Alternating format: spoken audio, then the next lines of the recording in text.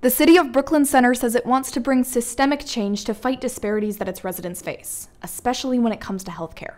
Reporter Dalaney Villebrun explains. A little over a year since the killing of Daunte Wright, Brooklyn Center is working to heal and meet the needs of its diverse community with a new partnership with Blue Cross and Blue Shield. And safe space looks different to everyone. When Brooklyn Center Communications and Community Engagement Manager Angel Smith first started her job six years ago, her job didn't exist.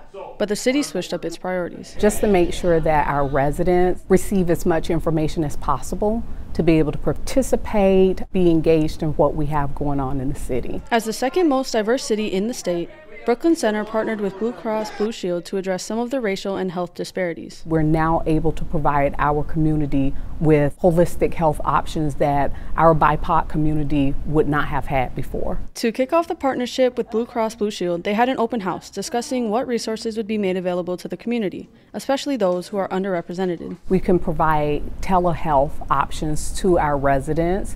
Um, it's just a matter of sharing that information out so that they know that these resources are available and continuing to partner to make sure we provide them with as much resources as we can. All this particularly important for a city that has gone through not just a pandemic but also a police shooting. Trauma, it comes in different forms and fashion, one of which is health and mental health.